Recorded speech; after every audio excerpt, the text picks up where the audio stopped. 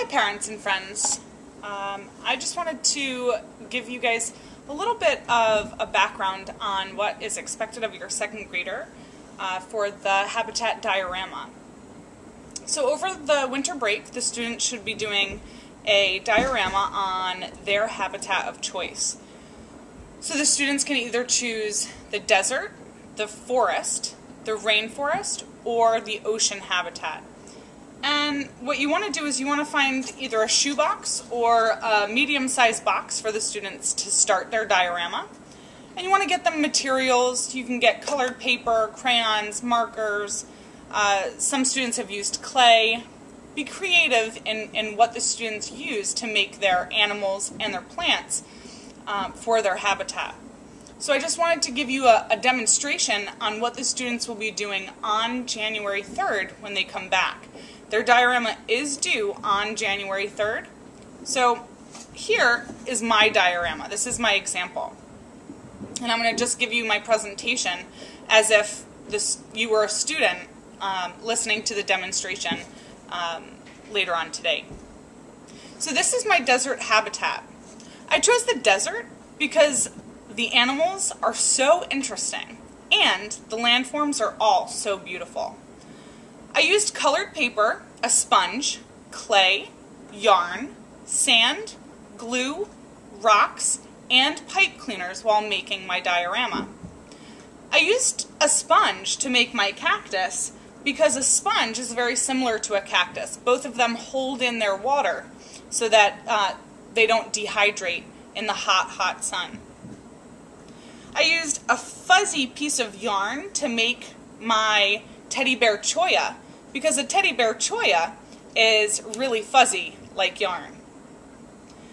The barrel cactus back in the back is just drawn onto the colored paper because I wanted to demonstrate that there are other ways that the students can create their diorama. They don't have to use other materials, they can draw on the background in their diorama.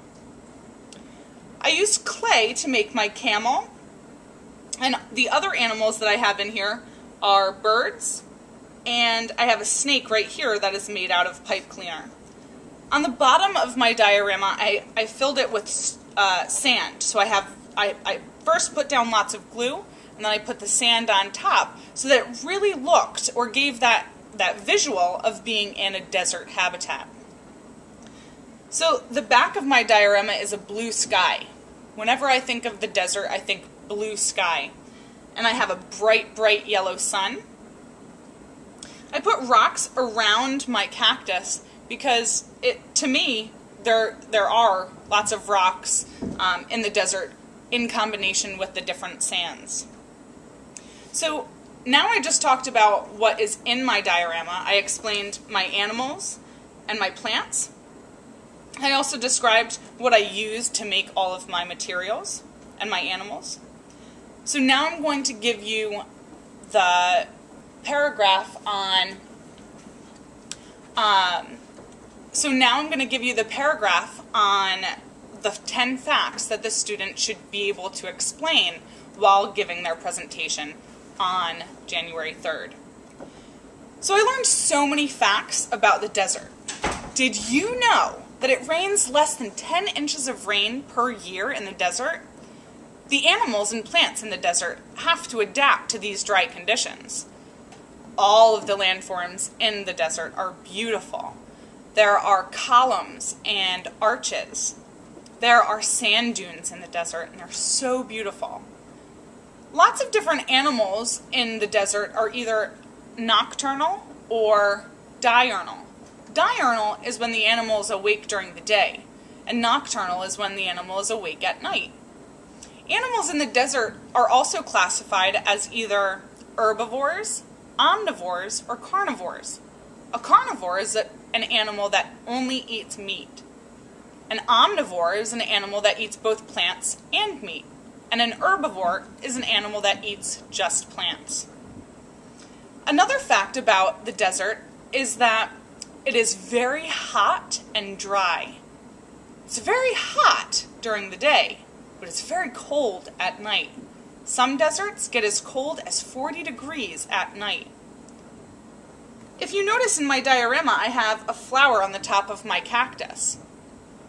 Flowers only come out at night because it is much, much too hot during the day for them to come out. As you saw, I listed at least seven facts about my diorama. Your students are asked to give 10 facts in their second paragraph. Their paragraph can either be written, handwritten, or it can be typed. Everyone was sent home with their uh, rubric for their diorama. So I encourage you to take a look at it with your child as you make the diorama and as you write their paragraphs for their presentation. I hope this was a helpful guide and enjoy making your dioramas with your children. Bye guys, happy holidays.